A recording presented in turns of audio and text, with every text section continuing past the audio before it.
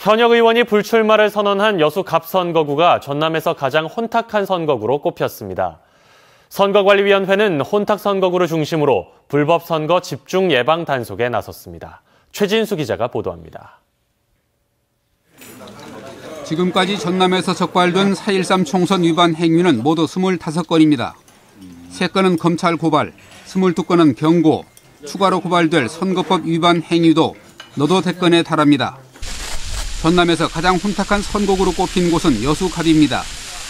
현역 국회의원 불출마로 무주공산이 되면서 후보가 난립, 과열 양상을 보이고 있습니다.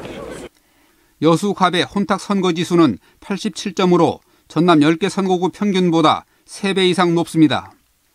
목포와 해남완도 진도 선거구도 혼탁 선거 지수가 각각 45.6과 44.4점으로 혼탁 지역에 포함되었습니다. 순천과 영암무안, 신안 등 4개 선거구도 관심 지역으로 분류됐습니다.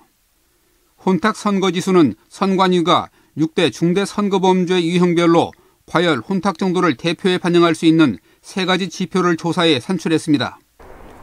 야권 분열에 따라 힘겹게 경선에서 승리해도 더 치열한 본선이 남아있기 때문에 총선이 과열 혼탁 조짐을 보이고 있습니다.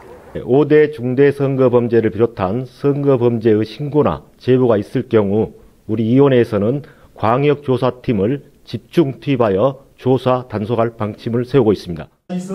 전남 선관위는 공식 선거운동 기간에 들어가면 과열 혼탁이 더 심해질 것으로 보고 혼탁 선거구를 추가 지정해 집중 단속하기로 했습니다. MBC 뉴스 최진수입니다.